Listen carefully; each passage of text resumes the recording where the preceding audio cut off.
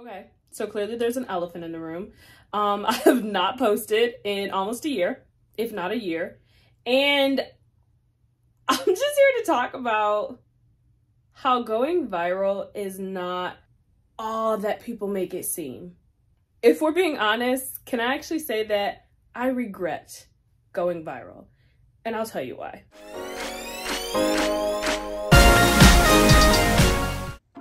Built a community here based on a niche that I didn't want to be in. If you are new to my channel, then you may or may not have seen my viral videos about side hustles. Side hustles are where I blew up. It is where a lot of people found me and a lot of people wanted more of the same content. Now here's the thing. That's not the kind of content that I wanted to continue to give. That was supposed to be a hot topic that we would move on from.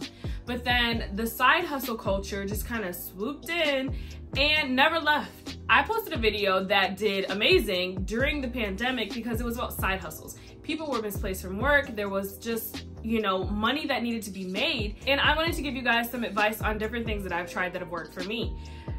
Where I went wrong was thinking that I could leave it at that. Once you put yourself out there in a specific category, people expect you to be the expert on it. And let me just tell y'all something. I am not the side hustle expert. I know how to stir up some money when I need it, but I am not a side hustle girl. I don't think that we should live in this culture where we side hustle ourselves to death. Side hustles are not going to bring us wealth, and that's the journey that I'm on is for wealth. It is not for quick fixes and quick money.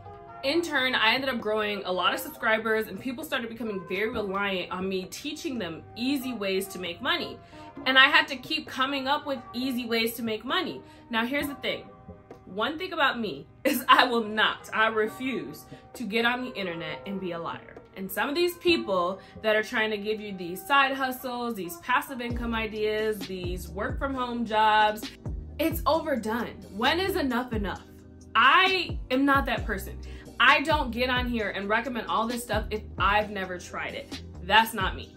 A lot of people will do that because they know that that culture is in demand. They know that people are looking for those ways to make money and they will always be there looking for ways to make money. However, that was not my industry. That was not my gift. That was not my calling. There are people that just continue to feed the internet fluff about side hustles and that's not me.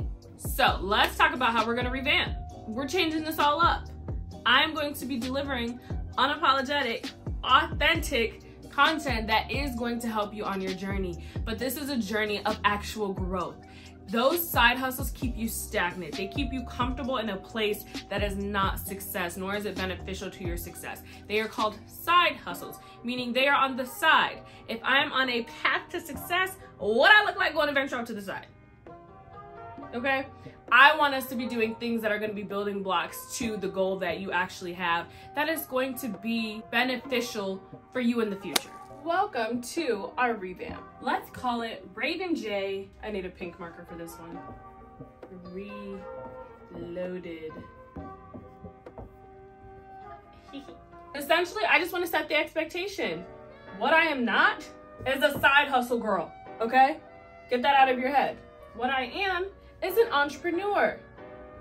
If I even spelled that word correctly. I specialize in social media marketing and giving you all of the tips, all of the free game without the fluff so that you can level up your social medias to actually take your business to the next level. I also have a trademarked, yes, indeed, it's trademarked, a trademark apparel collection, Black Women Can. And I do consultations for people who are starting a product-based business and want to blow it up. Hence, Social media tips. I teach you how to blow that up on social media, okay? That's what I do. That's what I'm good at. That's my bread and butter, not side hustles. Now that we're clear on that. So if I could go viral a second time and actually be intentional about it, here's what I do. Take the time to plan videos that clearly define your genre, not a niche. And when I say plan, I mean actually plan them out. The easiest way to fall off on YouTube is to not be prepared and to be inconsistent. So planning for me looks like coming up with my topic for the video, at that same time coming up with my title, and then coming up with my dialogue. So you need to plan out from A to Z how that video is gonna flow and what you're gonna say so that you don't miss a beat. The second thing that you're gonna wanna do is do some research. Find out what in your genre has success. Who's gone viral? Who's actually executed what it is you're trying to do? Who talks about the topics you talk about? How do they talk about them? What's their flow? And then figure out how do you duplicate their success. I'm careful not to say imitate because you don't want to show up and be the exact same as another creator where it's painfully obvious, but you want to, in your own way, join that genre so that you fit in and that you also have your own success. There are platforms out there like TubeBuddy or vidIQ that you can use in your YouTube to see what tags and titles and, and analytics are behind those successful videos so that you can try and duplicate the same thing. It's not rocket science. There is a formula, there is a blueprint. All you need to do is follow it.